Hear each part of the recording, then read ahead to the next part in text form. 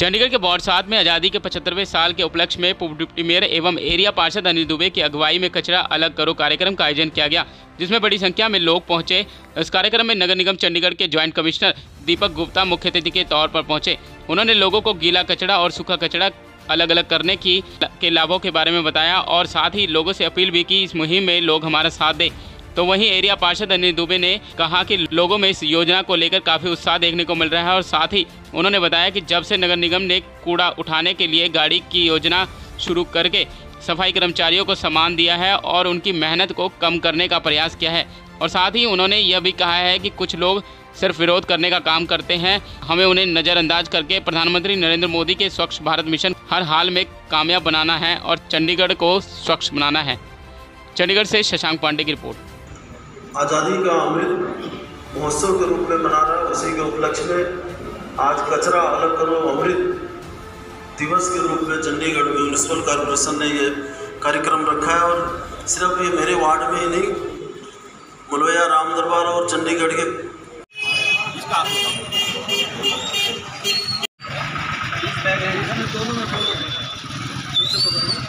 दोनों हाथों से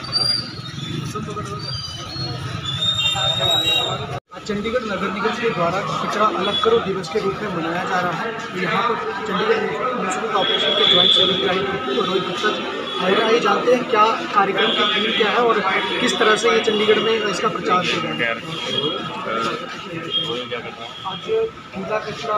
अलग है आज़ादी का अमृत महोत्सव हम सारे देश में मना रहे हैं उसी श्रृंखला के तहत आज हम चंडीगढ़ ये आगाज़ किया है कचरा अमृत तो इसमें ये हमने आगाज़ किया है, ये हमने चंडीगढ़ में राम दरबार में लोया में इस प्रोग्राम का आगाज़ किया इसके तहत हम लोगों को हमारे जो गार्बेज कलेक्टर बाकी सारे जो पब्लिक है, उनको यही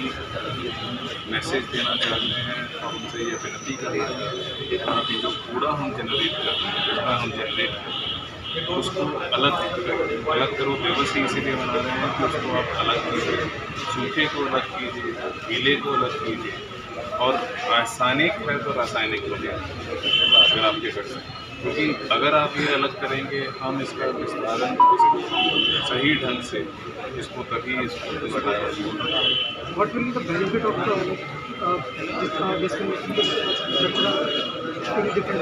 देखिए इसमें जो हमारा गीला कचरा आता है, जिसमें ज़्यादातर ऑर्गेनिक वेस्ट अगर हमें वो अलग करके मिलता है, हम उसको अलग तरीके से उसको कंपोस्टिंग में भी यूज़ कर सकते हैं। जो हमारा सूखा कचरा आता है, जिसमें कोई गत्ता है प्लास्टिक वो रिसाइकल कर सकते हैं। अगर ये मिला जुला हमेशा रह जाता है तो मिले जुले को अलग करना जैसे चंडीगढ़ की हम बात करें तो 500 से साढ़े पाँच टन के करीब का कचरा डेली यहाँ पे हमारा जनरेट होता है। और उसको हम देखें तो हमारे जो वेस्ट डम्प्स पड़े हुए हैं, जहाँ पे इकट्ठे ढेर लगे हैं। अगर आपने दिल्ली में देखा है तो दिल्ली को जब आप एंटर करते हो तो वहाँ पे ढेर लगे हुए हर शहर में लगे हुए दिल्ली हर जगह। तो वो जो इतने ढेर लगे हैं, वो इस वजह से क्योंकि वो अनसेग्रीगेटेड वेस्ट उसको अलग नहीं किया गया। तो इसलिए उसका कोई यूजेज अभी लगता नहीं है। तो उसको अलग करने में एक बहुत बड़ा परिश्रम और बहुत बड़ा एक अलग से प्रोजेक्ट करना पड़ता है, ताकि उसका हम डिस्पोज कर सकें। तो ये अगर एट सोर्स सेग्रीगेट होके आ रहा है तो इसको हम डिस्पोज ऑफ़ अच्छे से कर जाएँगे, क्योंकि इस समय जो हमारे सब शहरों में, गाँव में ये समस्या है कि वेस्ट जनरेशन जो है वो बहुत बड़े स्तर पे बहुत बड़े पैमाने पे वो ये सभी शहरों की सभी देशों की समस्या है। तो जिस तरह से अभी आपने चार एरिया के नाम बताए तो क्या ये पूरे शहर में भी पूरे शहर पूरे शहर में। हमारे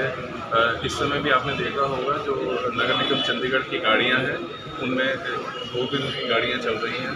एक में, एक कंपार्टमेंट में आप सूखा कचरा फेंकते हो, एक में गीला फेंकते हो, उसके बाद हमारे जो मटीरियल रिकवरी फैसिलिटीज़ है, वो इस समय दो ऑपरेशनल हो चुकी हैं। एक फ्री बी आर में, एक इंडस्ट्रियल एरिया में, और तीसरी बहुत जल्द होने वाली है। वो, उसका भी काम हम उसके थ्रू भी यही कर रहे हैं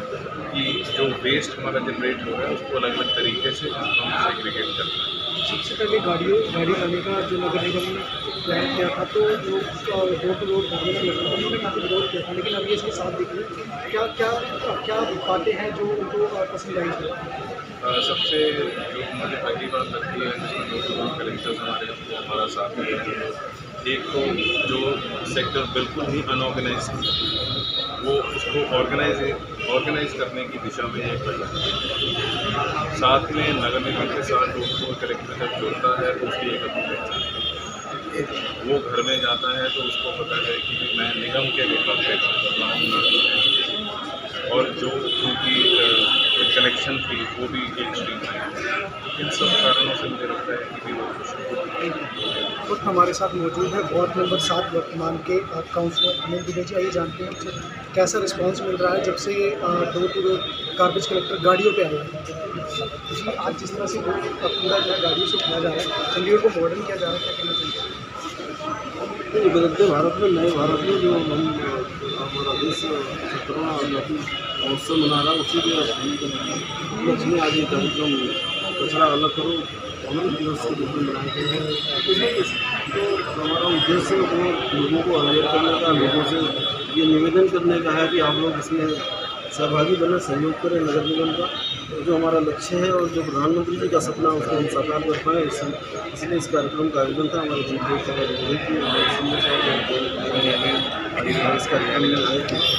और हमने सफ़ाई मित्रों को सम्मानित भी किया है और उनसे भी ये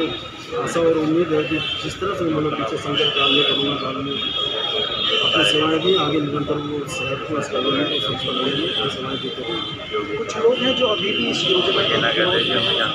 उसको पूर्णतः सक्सेसफुल नहीं होने देना चाहते। क्या क्या रिक्वेस्ट है आपकी? ये आपने देखा होगा जब भी कोई नई व्यवस्था लागू होती है, शुरू होती है तो उसमें कुछ विरोध होते हैं, लेकिन धीरे धीरे लोग इस अभियान से जुड़ते जा रहे हैं, उनको समझ आ रही है जो हमारे डोर टू डोर कलेक्टर हैं, उन्होंने बताया है कि किस तरह से हम रेडी खींचा करते थे और हमारी म्यूनसिपल कॉरपोरेशन में और हमारे जो मेयर साहब हैं, जो हमारे यहाँ के नगर निगम है, उन्होंने हमारे स्वास्थ्य को ध्यान रखते हुए हमें हमारे लिए गाड़ियों की व्यवस्था की है, और ये नई व्यवस्था उनके हित में है, उनके स्वास्थ्य के लिए और इस शहर की सफ़ाई व्यवस्था के वार्ड नंबर सात के लोगों को ऐसा रिस्पॉन्स मिल रहा है इस योजना बहुत ही अच्छा आपने देखा होगा कि सुबह जो महिलाएँ हैं वो अपने घरों के काम में निपटाती हैं अपने बच्चों को बेटी अपने बच्चों को स्कूल भेजने में लगी रहती है लेकिन एक छोटे से नोटिस में कितनी संख्या में इकट्ठी हुई है एकत्रित हुई है। निश्चित तौर पर इसका लाभ हमारी कॉलोनी और शहर को मिलेगा और मेरे आपके माध्यम से मैं अपने सफ़ाई मित्रों का और जो सफ़ाई कर्मचारी हैं उनको धन्यवाद करना चाहूँगा दिल से। उनको नमन भी करना चाहूँगा कि उन्होंने बड़ा अच्छी तरह से अपनी ड्यूटी पर तो ये थे हमारे वार्ड नंबर सात से काउंसलर जिन्होंने कहा कि मोदी ने जो लक्ष्य ठाना है कि भारत को स्वच्छ बनाना है उसको पूरी तरह से हम कामयाब बना के रहेंगे। चंडीगढ़ से मेरे साथ मेरे सहयोगी साहिल के साथ शशांक की रिपोर्ट